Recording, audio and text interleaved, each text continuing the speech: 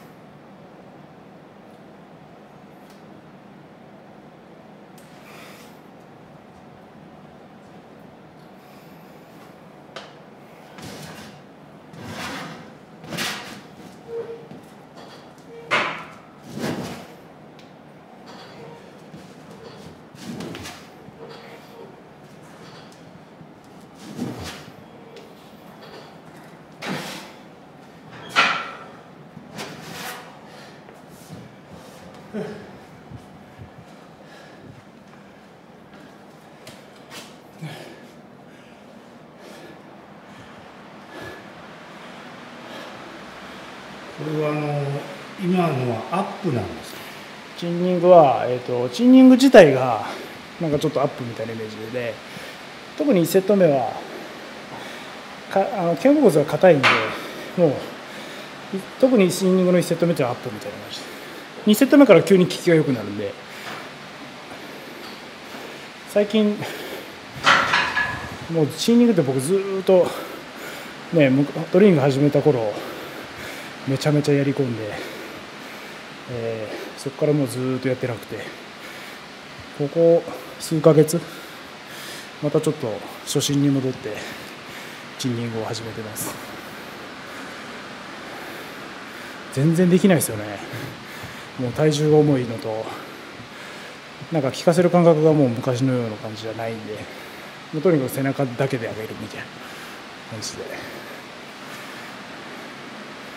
あんまり回数求めるとかじゃなくてもうじっくり効かせてやる感じです。で一応今やったように普通にやって、え、できなくなったら、えー、今度は収縮で止める。で最後はボールで弾まして、えー、ネガティブですね。でこらえるって感じ。3段階でちょっとホールアウトするような感じ。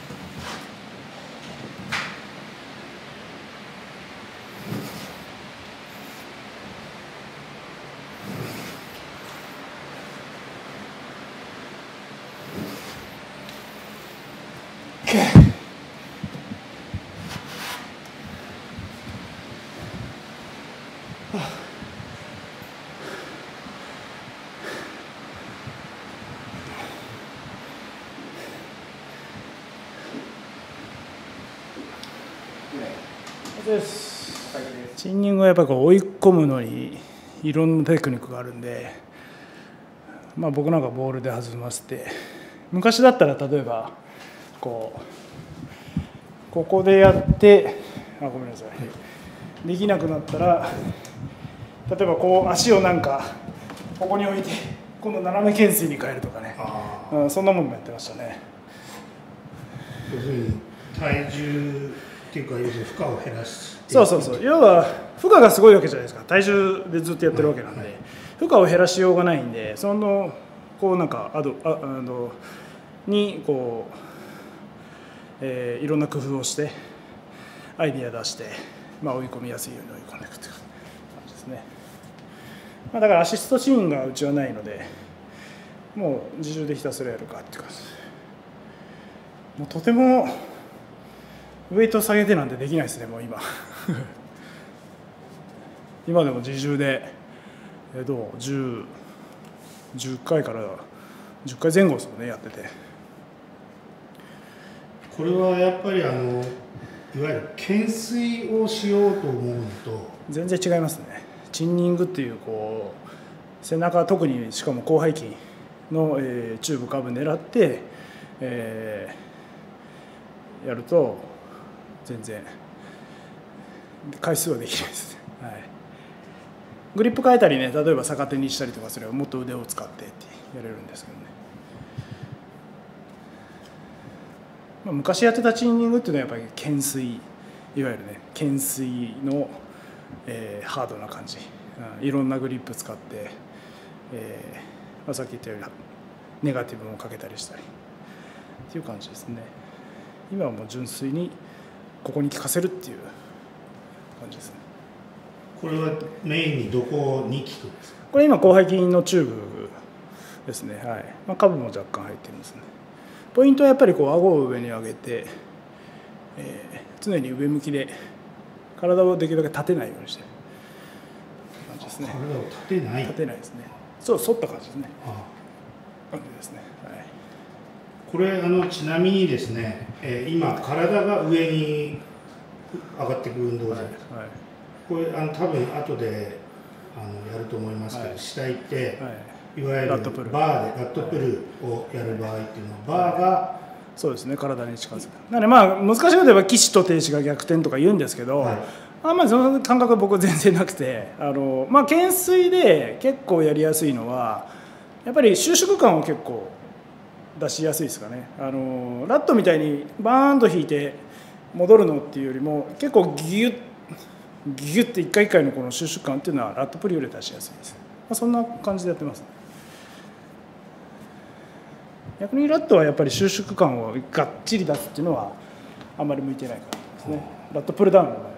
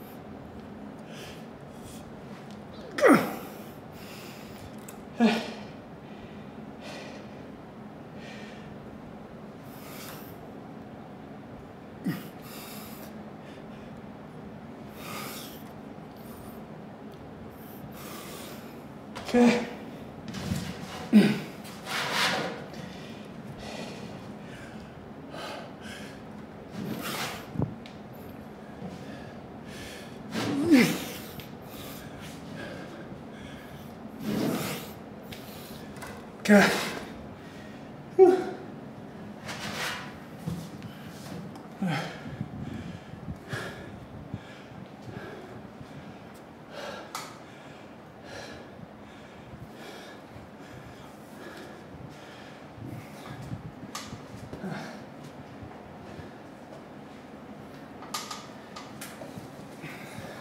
木澤選手がその自重でやっとっていう言ってるとね、はい。非常に説得力があるんですけど、はい。なんかあのこの間イーストであのガチンコで鈴木君と相沢君が背中だったんですけど、はいはい。2種目目かチンニング、はい。結構25キロは下げてなかったかもしれないけど、はい10キロ2個ぐらいはいはい。なんか下げてたようなはい気がするんですがあれやっぱりなんか使うところは多少違うんですまあグリップがもうちょっと腕を使いやすいグリップなのか。あこれじゃなこれじゃなくてあれあれ今どこ？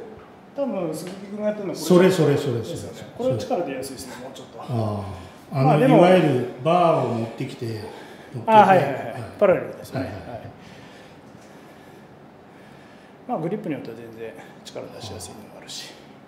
ワイドのこの、えーオーバーグリップが一番、まあ、力出しにくいのかなと思いますね。ストレッチ感は強いですねその代わり、で今こうすごいストレッチ丁寧にやってるの分かると思うんですけどね、はいはいはい。こう負荷が抜けないように。はい。ぐーっと重さかけといてその抜かずに引く感じです。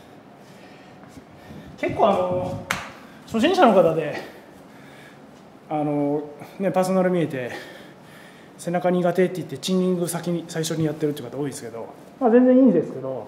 やっぱりテクニック的にはやっぱりチンニングが一番効かせるという面では難しいと思うんですよね。引く動きを強くするとかパワーをねは結構いいかもしれないですけどやっぱり効かせる感覚っていうのはやっぱりあの負荷が重いんでそこまで余裕がないので結構上級者向きなのかなと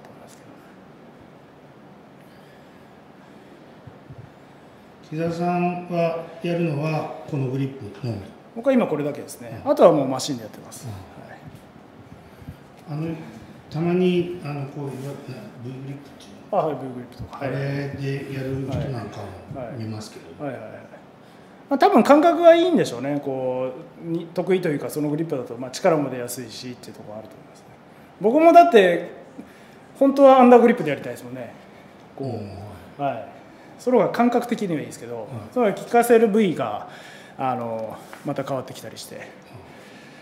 で今狙ってるのが僕はもうこう完全に広背筋のチューブ下部が弱い弱いというかまあ、えーテーマなんで。もう基本今日今からやる種目もほとんどが広背筋のチューブ下部狙いですね。じゃあラストセットです